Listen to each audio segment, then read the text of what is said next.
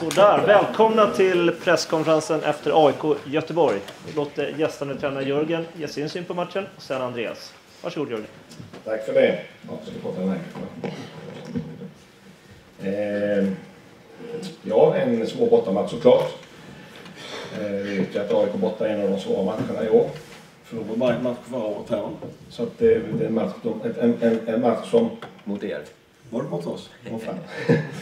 Nej, vi vet att det är en svår match. Och eh, eh, vi... Eh, sett till hur matchbilden var, sett eh, prestationsmässigt och så vidare så får vi vara nöjda att åka hemma ifrån med en poäng.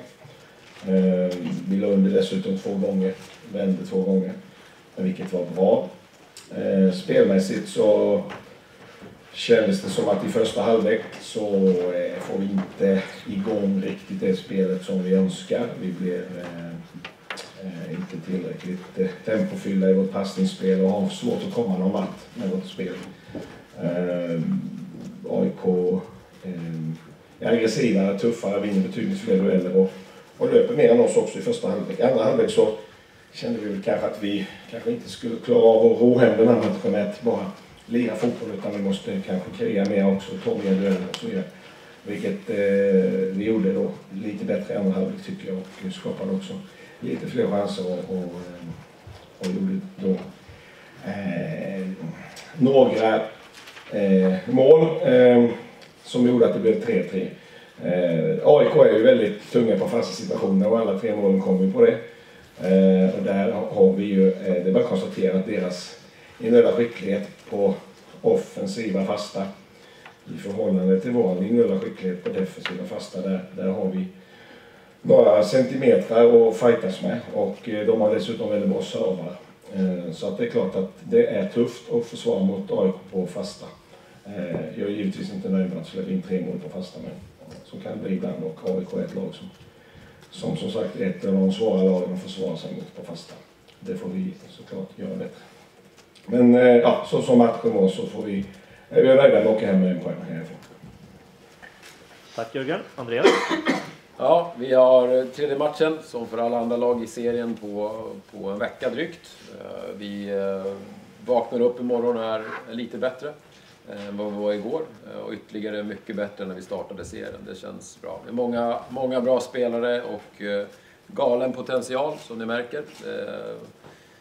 Så är det. Vi gör en bra match idag på många sätt. Det är en jättekonstig känsla utan att förta Göteborg. Men Göteborg skapar ju sina, sina kantfrisparkar genom i spelet. Så det gör de bra. Vi tvingas till, till frisparkar.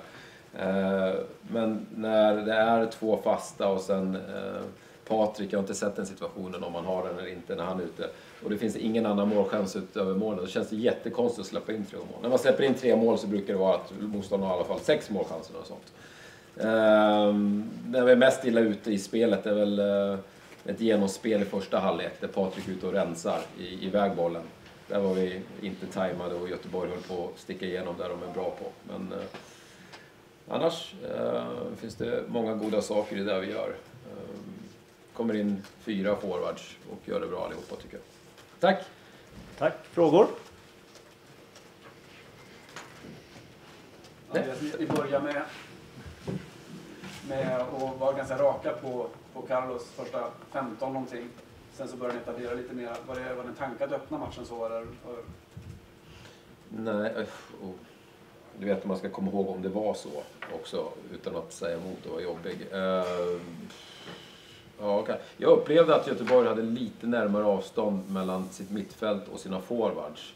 Uh, och lät ytan bakom sitt mittfält vara lite större. Uh, så att vi, vi skrek nog att bollen skulle dit, men helst inte på skarv varje gång utan in på fötterna för att sen kunna spela ner till Eliasson. Den, den ytan kändes som mycket större än i andra matcher vi har spelat i år. Eh, så lyckades vi inte etablera det, men det blev okej okay i alla fall. Eh, vi hade kunnat gjort det ännu bättre. Men det fanns ingen, vi hade nog velat använda Ishi och få det ännu mer. Jag tyckte vi gjorde det okej. Okay. Jag kommer inte ihåg första kvarten exakt hur det var. Men att använda dem ut på Nisse så han får tid med bollen och sen dra isär dem och spela in på forwards ut på Niklas. Uh, nej, det var inte planen att spela långt på forwards i början. Uh, hellre issue och Fori. Andreas, kan du beskriva skillnaden i känslan mellan 3-3 här och 1-1 premiären? Eh,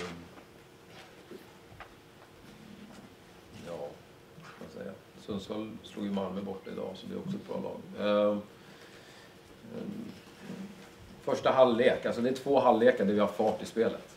Och i, I första halvlek så har vi eh, fyra, fyra spelare, forwards och yttermittfält som är jäkligt raska. Och då har vi fart. Eh, och sen Ishio får det skickliga eh, centralt. I andra halvlek så har vi en annan typ av anfallsfotboll som skapar eh, ett tryck. Och Nero och Fredrik spelade framme på slutet så är det en annan typ. Så att det, det är olika typer av, men det, det är fart. Det finns fart i AIK-spelet framåt under 90 minuter. Inte varje minut, det ska jag absolut inte påstå. Men det finns en, en god, eh, god fart framåt.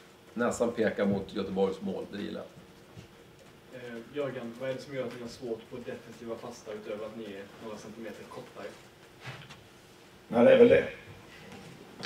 Vi har eh, jobbat eh, febrilt i veckan här med eh, den, fyra på den strukturen som vi ska ha på defensiva fasta. Kopplat till att, eh, som jag sa innan, det, de har mer, off, mer kvalitet i sitt offensiva huvudspel än vad vi har i vårt defensiva huvudspel. Och eh, hur kan vi då lösa det ändå? Eh, det har vi jobbat på febrilt i veckan och filat på och funderat på hur vi ska eh, göra det. Eh, Någonstans i slutändan så handlar det om att eh, två spelare duellerar och en vinner och en förlorar. Och där förlorar vi många gånger. Men vi vann ju också några på våra egna fasta så att det var ju i och för sig bra. Men eh, det är väl ett, eh, de sista målen AIK gör på fasta situationer i år så att eh, ja, det är ju vilka spelartyper man har så att säga. Vi, vi, vi har ju dem vi har. Och det är vi glada för. Men eh, jag tror det är svårt att organisera bort eh, så att säga, vinst eller förlust i dueller en mot en. Det, det går ju såklart att fila på det men ja. Vi har jobb, jobbat väldigt mycket med den frågan i år, eller i, i, i veckan.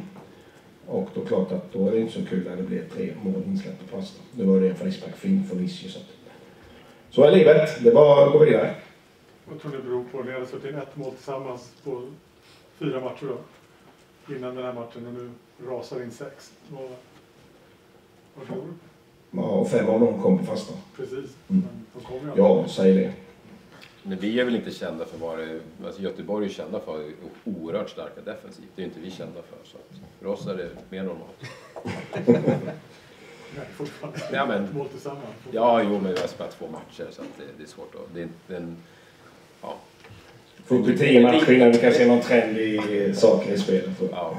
Om vi tittar de 32 senaste matcherna så är trenden att det här är ganska normalt för oss. Nej, lite mindre kanske. Jörgen, du sa man har de spelartyper man har. Om man ser något övertag som ni har idag så är det ju att ni har Engvall och Hussein mot AIKs mittbackar som inte är lika snabba riktigt. Tycker du att ni lyckades använda det, det övertaget? Eh, Engvall fick ju ett eh, friläge där i efter, vad kan det ha varit, 10 minuter, en kvart. Och eh, som är han... Eh, och det var klart att det hade vi ju som en idé att vi skulle kunna komma in med den typen av bollar in på, in på Tobbe och, och eh, Gustav.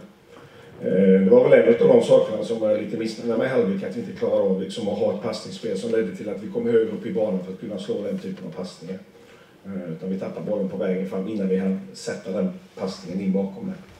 Eh, så att det var en, en, en del i spelet som jag hade kanske hoppats lite mer på än vad vi fick ut då. Och det var inte aktuellt att slå den bollen tidigare. Sen när vi spelade upp och sen sätta den.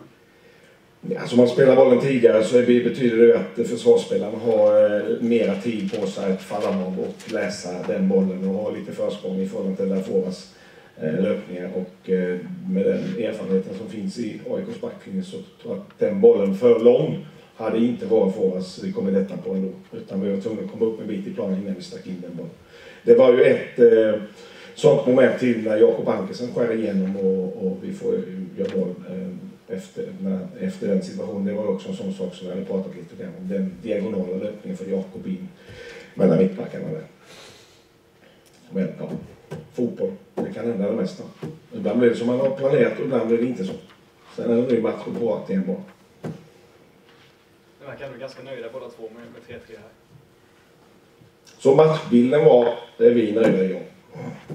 Även om vi alla är nöjda med kryss egentligen. Men så som matchbilden var så får vi vara nöjda med ett kryss, ja. Du med Andreas? Nej, mitt leende är nog mer att det var en konstig match. Eh, så, tre, tre målchanser emot och 3-3.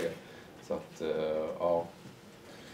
Nej, det finns nog ingen, ingen glädje i det. Det, är, det som är bra är att komma tillbaka från underläge på slutet och sen gå för det verkligen. Eh, sista tio, att, att trycka på och försöka hitta lägen att vinna matchen. Andreas, Sen vad det gäller fasta så har ju vi Boman och slänger igår. Då kommer han med markarna. För att diskutera längd. Men vad, skulle det kunna vara så att Göteborg var längre oss när vi startar matchen? Eller? Nej, Isak är ganska lång också. Andreas, vad säger du om Ishizakis spel? Jag är glad att han, att han orkar hela utan att bli skadad och så vidare. Han, eh, han är viktig. Det, det är klart att man alltid vill ha någonting som motståndaren inte har i sitt lag. Har vi får och Ishi centralt då, då skiljer sig den, den balansen mot den som Göteborg har. Det, så är det. De har en andra spelartyper. Eh, eh, Även om Albeck är väldigt skicklig med, med bollen så blir det totalt sett skillnad. Vi kan ju också balansera upp det olika men så att där har vi, Ishi är duktig och får det också väldigt bra och när, när de är på bollen. Sen finns det ju klart att det är något läge där, jag tror att det är när de spelar igenom oss, där de springer ifrån både Ishi och där för att vi har offensiva positioner och då, då är det inte lika fördelaktigt förstås. Om ni inte har fler frågor så tackar vi för, för idag. Tack! Tack.